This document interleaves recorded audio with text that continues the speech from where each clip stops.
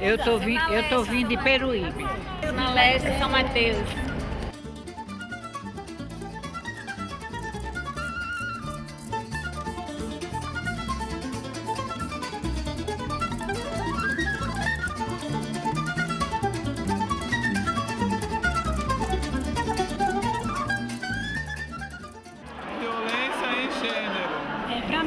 Violência contra a mulher Quando você deixa de exercer a sua cidadania.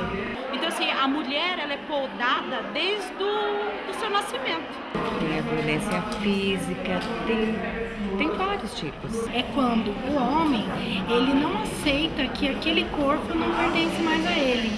E ele quer. Porque violência não é só agressão física, né? Desde palavras, olhares ou partindo para agressão também.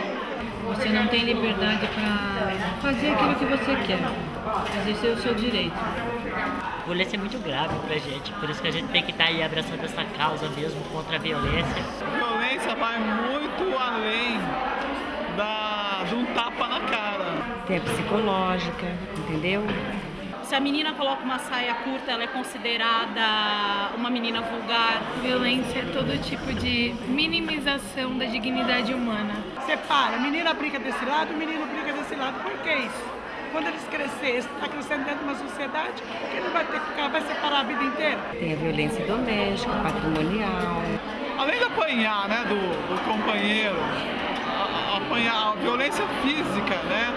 Para mim, a violência é a pior coisa que pode acontecer com uma mulher. Ela destrói uma família, ela destrói um lar e, acima de tudo, ela destrói a autoestima da mulher. A mulher não se sente mais nada. Então, essa é a função da PLP, é ajudar essa mulher a ser reinserida na sociedade.